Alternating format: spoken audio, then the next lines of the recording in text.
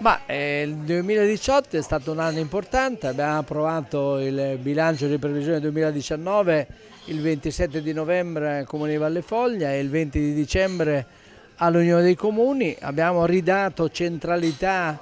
a Valle Foglia e a quest'area che è a cavallo tra Peso Urbino e la Romagna e eh, diciamo è stato l'anno dell'edilizia scolastica, abbiamo costruito nuove scuole, rimesse a nuovo quelle esistenti, in buona sostanza abbiamo dato nel 2018 che si conclude eh, tutte le strutture scolastiche adeguate alle norme antisismiche adeguate alle attuali norme eh, diciamo, previste dalla legislazione vigente e quindi per i prossimi 10-15 anni l'edilizia scolastica dal nido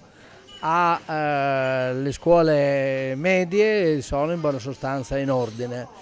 E poi il 2019 sarà l'anno delle grandi opere, delle opere importanti, dalla centralità del comune che nascerà a fianco alla Casa della Salute a Valle Foglia, a Montecchio di Valle Foglia, dal nuovo teatro che sarà un teatro tra Peso Rubino e la Romagna unico nel suo genere al servizio di questa vallata che nascerà a Bottega di Valle Foglia, da una depurazione dell'insieme dell'asta fluviale diciamo per circa 13 milioni di investimenti che sarà realizzata da parte di Marche Multiservizi e, e diciamo della centralità di questa Unione dei Comuni che ovviamente eh, sarà diciamo su grandi strategie, cioè le strategie dell'asta fluviale del Foglia, della bonifica e della messa in sicurezza del sistema produttivo, del lavoro e questi 60 chilometri che siamo riusciti a dare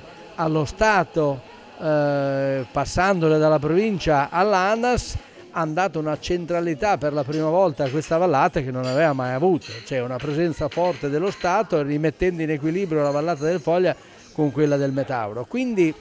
le opere pubbliche, l'adeguamento del teatrino Branca Sant'Angelo in Lis, l'adeguamento del Morciola Sporting, il metano e la depurazione Montefabbri e Monte di Colbordolo, 400 mila euro di manutenzione idraulica di questi tempi del territorio nel Monte di Montecchio, qui proprio a fianco alla Piazza della Repubblica, che è la piazza centrale dell'insieme della vallata, quindi un futuro, quello del 2019, di inaugurazione di opere pubbliche importanti ed una nuova centralità che fa sperare bene al futuro di questo territorio, riportando la piena occupazione al benessere, alla crescita e per questo mi sento di inaugurare e di ringraziare diciamo, i cittadini e soprattutto di augurare eh, un buon anno, un felice 2019 e, e, di ringraziare tanto tutti quelli che hanno aiutato, a cominciare dai consigli di quartiere che sono di nuove istituzioni del 2018 che danno l'idea che si può costruire una grande, più forte